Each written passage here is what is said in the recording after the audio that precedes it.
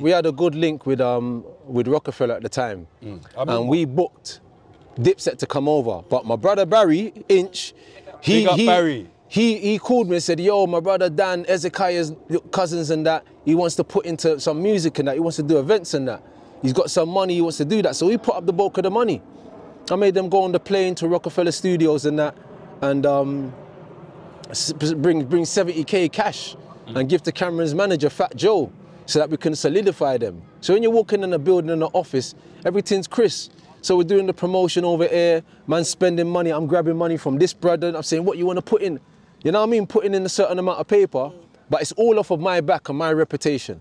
Mm-hmm. Giving them the link, saying, yo, this is these are certified people, we can book them to come over and they'll definitely turn up and do the tour.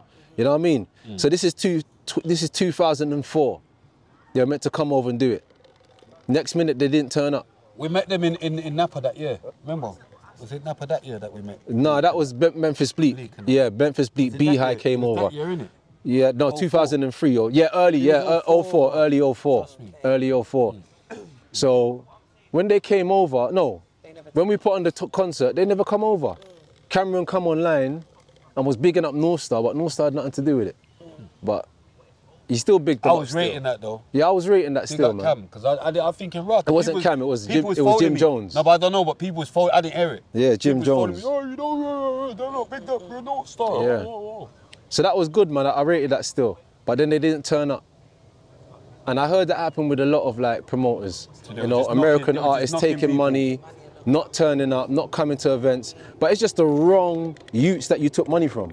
Yeah, basically. It's gonna piss me off. That's the wrong youths you took money from. Southwest London youths. We're not just promoters. We're not man that, that's getting invested that can just lose money and knock you on the head. You know what I mean? So Gonna take that. You took- We're gonna take. Yeah, you took money from man. Don't come back here until you're willing to pay, and that's all it was. So when when some promoters thought it was cool to book, like a couple of them have been here while I was in jail on my doing my thing, in jail trying to get out. Yeah, we're gonna.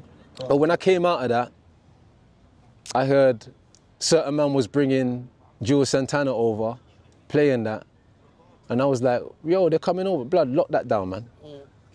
Lock that down. My brother, Reeps, Inch, like Peckham man turned up, Brixton man turned up, Tanner. Beer man turned up and said, nah, this not, it's not happening on an hour watch, you get me? It's not happening on an hour watch, man. You know what I mean? Like, it's not just Mega's involvement. This is Brixton man's involvement. This is Streatham man's involvement. This is this is more than just one man's involvement. And furthermore, you lot ain't dealt with it properly. You understand what I'm saying? So everyone turned up at the hotels and orchestrated it in a certain way, but we didn't want to make it seem like it was some kidnapping thing or disrespecting in the end because we're still fans of them, we still like them. They was acting like, um, Juelz Santana was acting like he didn't really know what it was all about. It was all cam situation. It's on mind games, isn't? Yeah, it was on mind games again. So they signed something, some bug little contract. Like made them sign a book contract and say, yeah, I'm gonna come over here when I do my mixtape. And when he went back to the states, one of his little youths from from jail was dissing the thing again. Fuck you, London niggas. Da da da da da. Mind games. All of that shit was happening, and I was like, but I was on the phone. I was I was going out with a girl called Yaz at the time.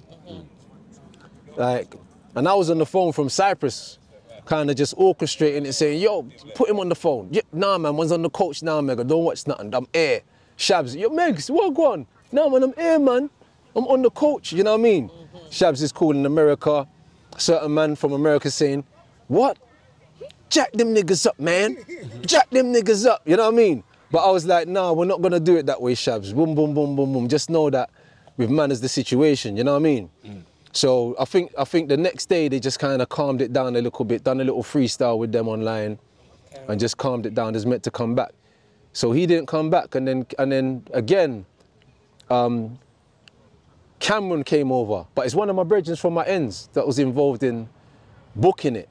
But what was happening is that I wanted to make a phone call to say, "Yo, let's have a let's have a conversation. Let's have a conversation with um with Cam and that, just to let them know about the scenario." But I don't think Cam wanted to have the conversation, and it's not my brethren's fault. It's not it's not the girl's fault. It's not it's not my man them's fault. It's just that the the artist didn't wasn't honest with them of the situation and wasn't honest with us about the situation. You know what I mean? So they was trying to play, they was trying to safeguard their interests at the same way, just safeguarding the artist's interests. But I was mostly seeing it as, as a disrespect on Cam'ron's side more than it was my brethren's. Yeah. You get me? I didn't think that my brethren were disrespecting. They were just like, right, we just want to put on an event and boom, boom, boom, boom, boom. Mm. So it wasn't really nothing to do with them. They were just safeguarding their thing. But Cam'ron was taking a piss. Mm. Because Cam'ron, Y- yes, bless, bless. Cam'ron was the main man. Next to, next to Big Joe, he was the main man. You get me? And I just said, look, if my man doesn't make the phone call, I apologize, but I have to, I have to um, pull him up on it.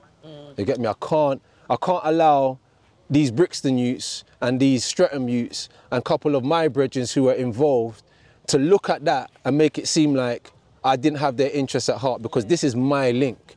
I made Roadman put their money into something which, you know what I mean, which they lost all their money. Losing a hundred grand of street money is not uh, some something that you should take lightly. To anybody, it's not a joke thing. Gunshot, man. So for the whole time, it's been my interest to make sure that that justice is served on all areas. So I had to get dirty. I had to get my hands dirty a little bit again. You know what I mean? I turned up at the event on a, on a thing where, where I wanted to have a conversation with him again, and he just didn't want to turn up. So the young ones, they just moved reckless.